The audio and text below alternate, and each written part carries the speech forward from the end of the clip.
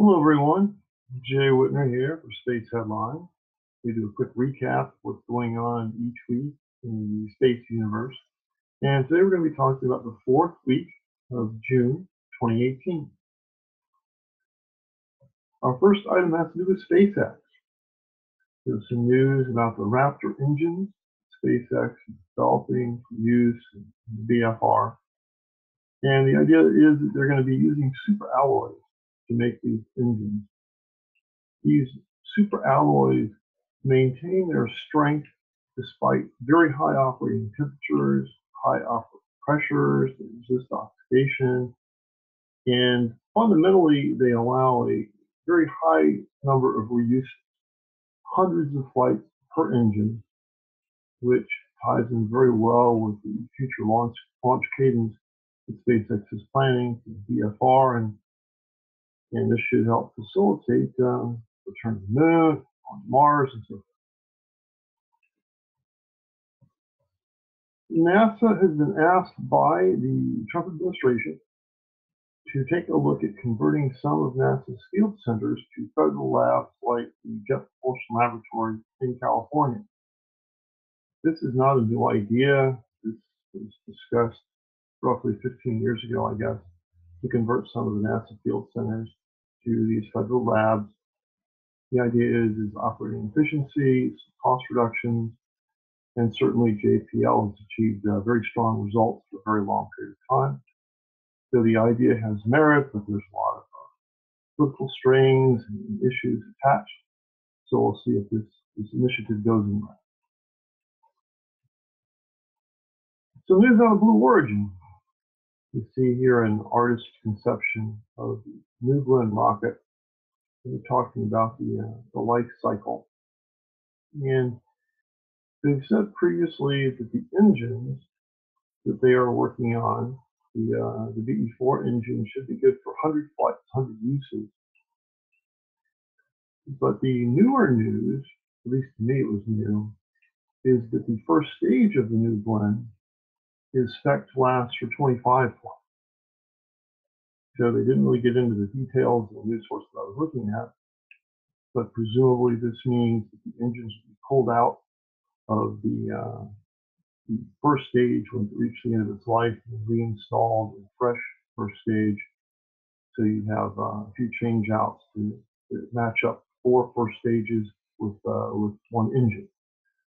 So more plans, more uh, scenes behind the curtain about what Blue Origin is planning for their next rocket. Nice news from Made in Space, one of the uh, premier space companies right now. They are the, the big leader in 3D printing in space, making stuff in space, as, as the name would suggest. The news item has to do with their Archinaut. If you're familiar with 3D printing, especially the desktop systems that you have seen. The item is built inside of the box. So there's various constraints on how high, how wide the item can be to get inside the box. The idea behind Archinaut is 3D printing outside the box. So you can make arbitrarily large structures.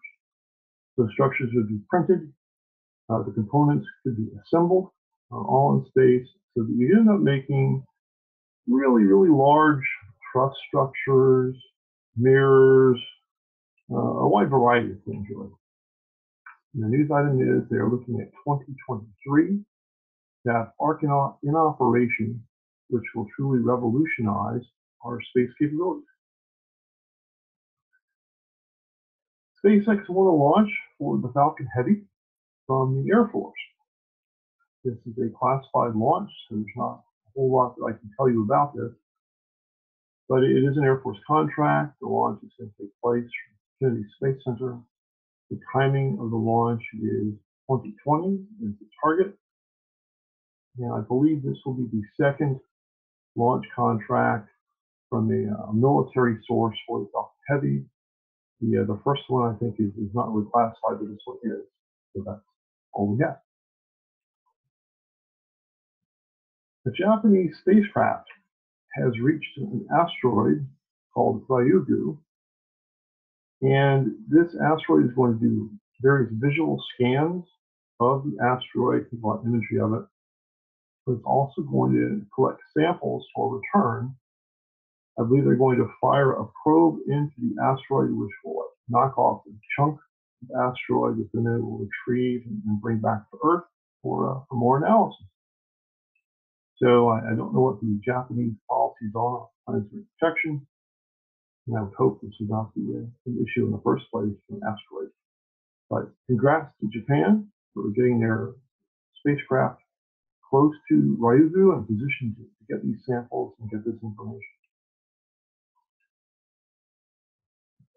We've all been waiting impatiently since the retirement of the space shuttle for the next launch vehicle that would be capable of carrying Americans into orbit from American soil on American craft.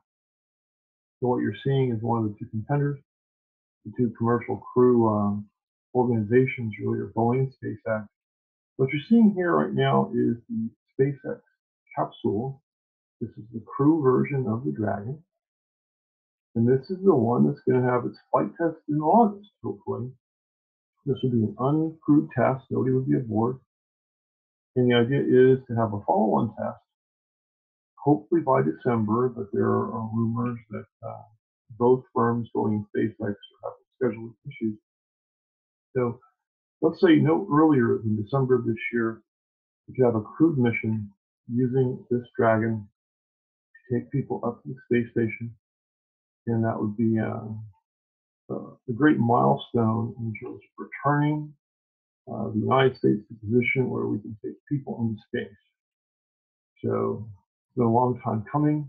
Keep your fingers crossed and think good thoughts for Boeing and SpaceX to tackle this uh, complicated issue.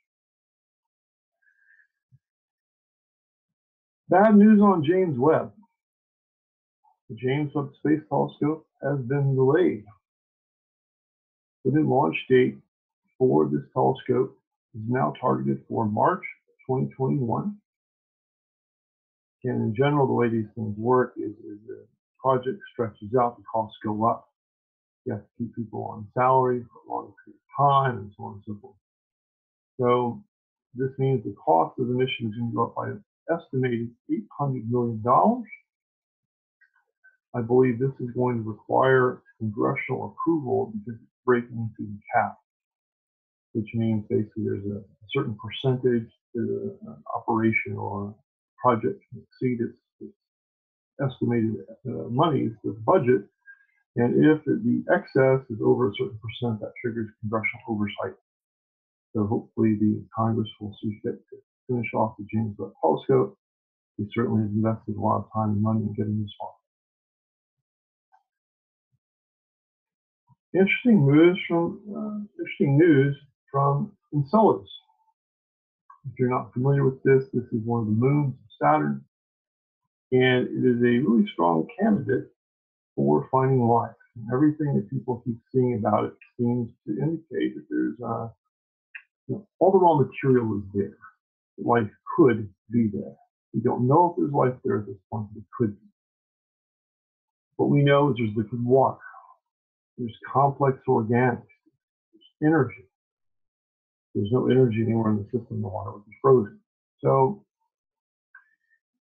very exciting information about this. And it would be really nice if we could drum up some money and do a series of missions there to really pin this down a little bit more and understand this moon in greater detail. We had a launch uh, by SpaceX Falcon 9. It looked fairly normal although it was, uh, it was a night launch, which is full of extra drama with the, the bright light of the launch itself. What made it especially interesting, though, is this was the last flight of the Block 4 Falcon 9, because they've come up now with the Block 5. So this is the marks the end of the, the Block 4 period and beginning of the Block 5 period. Also, this booster was flown once before, and it was refurbished in record time by, by a wide margin. SpaceX is demonstrating the ability to turn things around more rapidly, and it's sort of a tour de force for the usability. In the, the booster had flown before, capsule. The Dragon had flown before. So we're seeing uh, better gear, more reusability, more rapid turnaround time, uh, all in pursuit of the holy grail, which is sort of aircraft style operation. That's it for Space Headlines covering the fourth week June 2018. Hope you enjoyed our show. We'll see you in about a week for the first week of July. Take care.